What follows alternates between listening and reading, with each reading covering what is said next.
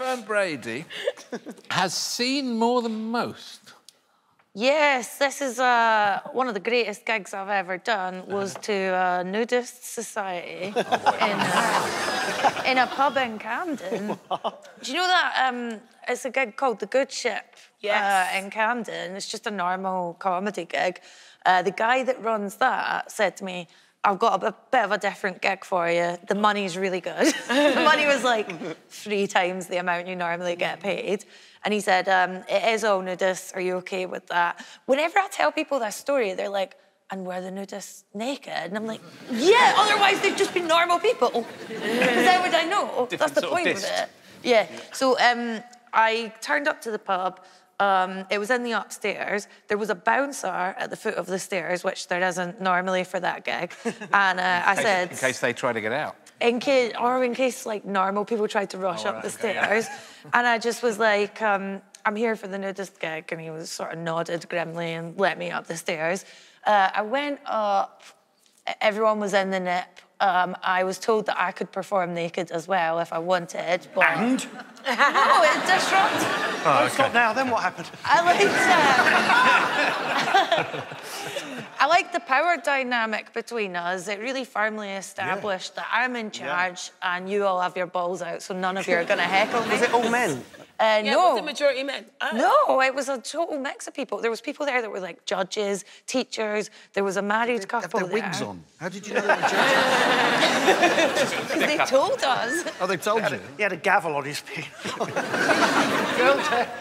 Did you have like nudist material? Like, I'll do my, my tit set. Like, what? they were they were so desperate for nudist material. Okay. And they like desperately wanted to talk to you about the nudist movement. So the, the editor of Nudists Monthly came over to me with his wife. And he kept saying, Don't you see? Once everyone's naked, no one is naked.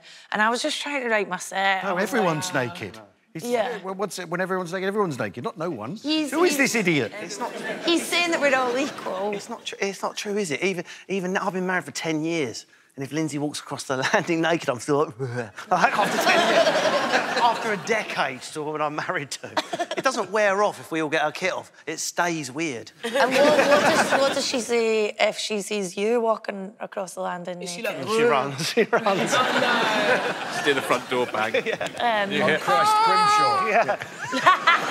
Nick where's my husband? Nick Grimshaw, get dressed. But yeah, they kept saying, oh, if you want to perform naked, you can. But I was there with comedians that I work with fairly regularly. So I was Did- like, Did any of the other comedians perform naked? yeah, did anyone? no, Mark Simmons wore an apron that had a naked man printed on it, you know, like those joke na- aprons.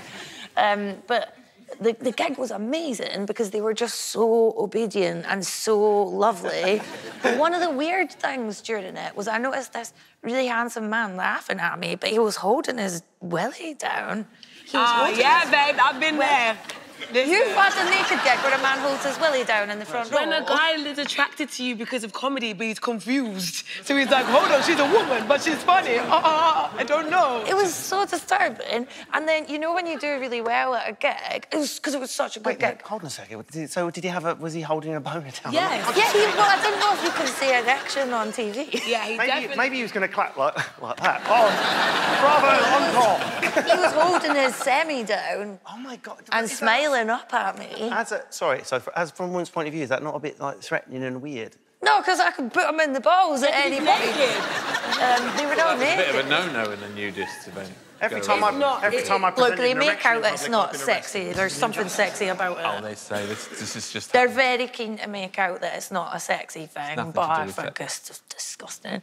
Uh, you know, when so when you do good, uh, uh, when you do well at a gig, sometimes people rush over to you to tell you how well you've done. That's normally a great feeling. Yeah. Not when none of them have clothes on.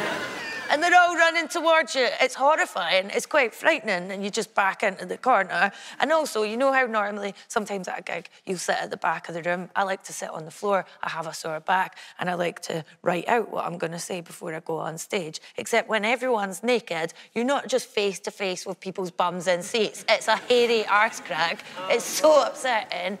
Then I went to the toilets after I'd, after I'd been on. I'm all for uh, gender neutral toilets. That's fine. We should have that. But when you're redoing your lipstick and you look in the mirror and there's a 20 stone naked man, like a ghost or a vision of a demon, just staring back at you, you make eye contact in the mirror, that was very distressing for me. he made a face to me like, I know this isn't right either. And then I went downstairs for a drink during the interval, right? Um, So you and- stayed. yeah, but like, yeah, everything, everything downstairs was normal. The pub was still operating as normal. And I said to the guy, "Oh, can I have a beer or whatever?" And he said, uh, "You doing that gig up the stairs?" And I was like, "Yeah, but I'm just one of the comedians." And he went. It's disgusting. We have to wipe the seats clean every time they're here. All the seats from their sweaty asses. How did you control your sight line when you were, were on? Because I don't. It really didn't bother me. Yeah, 'cause where I did you No, no, but where did you? You must have looked somewhere, or exit you, sign, couldn't have done the set like that with your eyes in the air. Because I don't even like looking in into the. eye- I mean, it's Do you even not weird to look look into the eyes of the audience would be weird. Do you look into the eyes when you're gigging? Never. I mean, I'll, I'll pick I'll pick out faces, but imagine if you lock eyes with someone for a little bit too long, it's uncomfortable. But imagine like scrotum. You, Scrotum. you know, you know, once you've seen someone with scrotum, I would lose my concentration. No, because I was a lap dancer years ago when I was a young woman, so it just becomes very. Oh, she been in- You to left that yeah. detail out. Oh, yeah. Well, that was what I was going to say earlier. This idiot from Nudist Monthly kept saying, "Don't you get it? Once one of us is, all of us are naked. Everyone, no one's naked." He kept trying to say all these slogans to me, and I was like, "I know. I was a stripper for three years, and it just wasn't going in at all." But um, yeah, when you do stripping, you do just see naked women all the time, and you just become like fanny blind or something. Yeah. So that really helped me at the nudist gig. Fanny blindness. Yeah, how's that been? Yeah. Oh, just Yeah. a day of it would be nice. Everyone When you were a student, was that to, One day of fanny blindness wouldn't it be nice? uh, money when you were skin as a student? Imagine if it was for something else. Yeah. I wanted to feel empowered as a woman. I don't know what reason, but yeah, for money. I did it Yeah. for money. you did quite a I did it because I loved the, to dance, like the women in Flashdance. of course, I did it for money, Alan. If you enjoyed that, remember to subscribe to Dave and click the notification bell so you don't miss any of our fresh content. Let us know in the comments who you'd like to see join me around the table and head over to UKTV Play where you can stream old episodes of As Yet Untitled for free.